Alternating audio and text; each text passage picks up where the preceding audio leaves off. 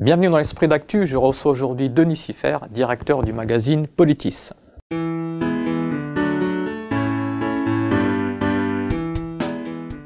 Merci Denis Siffer d'avoir accepté notre invitation. Alors je vais vous demander de réagir au débat euh, qui a opposé Macron à Le Pen, un débat qui a plus ressemblé à une foire euh, d'empointe qu'un réel débat avec euh, des échanges d'arguments. Bah, si ce débat a eu une utilité, euh, c'est pas en tout cas de, de, relever le niveau de la politique française, mais c'est de démasquer en fait Marine Le Pen, parce que tous les gens qui pensaient qu'il y avait une dédiabolisation, comme on dit, euh, bah, j'espère qu'ils auront ouvert les yeux, parce que finalement, elle a révélé le Front National tel qu'en lui-même. C'est un parti d'extrême droite euh, haineux, euh, n'ayant pas de proposition. Et je pense que, en ce sens, euh, au moins le débat a, a, eu cette fonction salvatrice. Alors, on va évoquer les résultats du premier tour. Alors, vous avez signé un éditorial dans le précédent numéro de Politis, dans lequel vous affirmez que nous rêvions d'une sixième république que l'on risquait d'avoir plutôt une quatrième république. On sait que la quatrième république a été plutôt marquée par une forte instabilité gouvernementale. Oui, parce que la caractéristique de cette présidentielle, euh, c'est qu'elle euh, elle ne va pas résoudre le problème institutionnel à elle seule. Elle va dépendre comme jamais de, euh, des législatives qui vont suivre. Tout à fait possible que le président élu, probablement Macron, maintenant encore plus aujourd'hui qu'hier, euh, Macron donc euh, il, a beaucoup de difficultés à avoir une majorité législative et par conséquent on peut très bien avoir ou alors la droite et une cohabitation avec Macron, ou bien euh, des majorités un petit peu à géométrie variable au gré des, projets euh, de, loi, et par conséquent donc des gouvernements qui tombent euh, comme à gravelotte. Hein. Et donc on peut avoir une sorte de quatrième république, en effet bis, ce qui serait assez étrange après la campagne pour la sixième république et pour les changements nationaux qu'a mené notamment Mélenchon, et même à, un certain niveau Hamon. Alors sur le score de Benoît Hamon, justement, il a fait un score particulièrement bas. Est-ce que pour vous, le PS, le parti d'Épinay, est mort et enterré?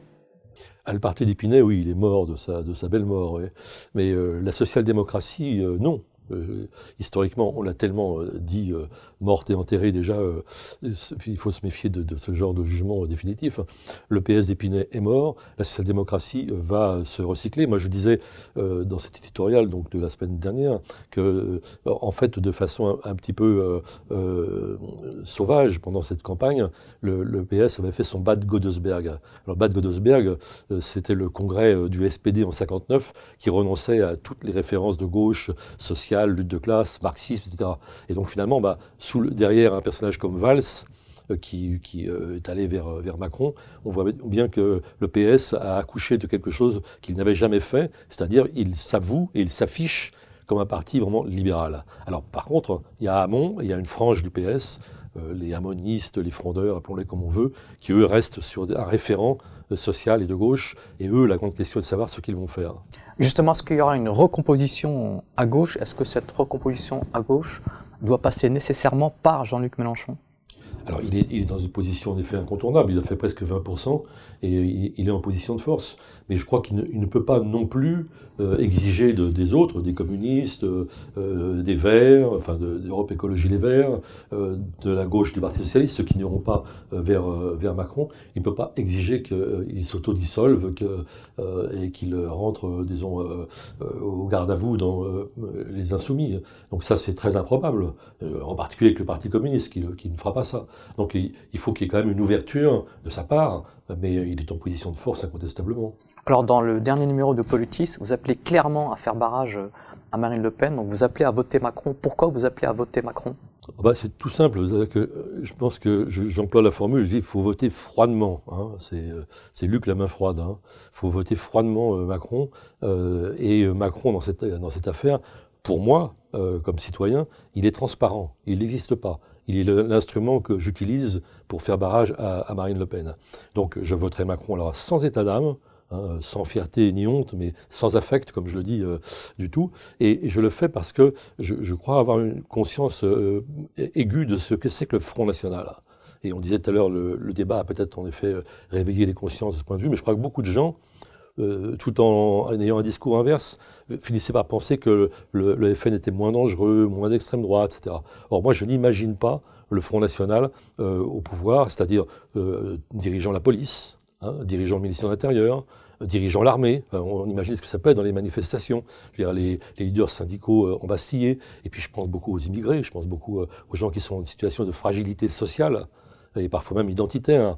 Donc tous ces gens-là, effectivement, ils seraient livrés vraiment là à la vindicte, non, seulement d'un parti politique, comme c'est déjà le cas aujourd'hui, ou de groupes, ou de groupuscules, mais de l'État. Et ça, il faut quand même euh, mesurer, disons, le, risque que, que, ça comporte. Donc je pense qu'il n'y a pas d'état d'âme à avoir. C'est pour ça que je voterai Macron sans hésitation. Alors qu'est-ce que vous pensez de l'attitude d'un intellectuel comme Emmanuel Todd qui lui appelle à l'abstention, dit clairement qu'il s'abstiendra?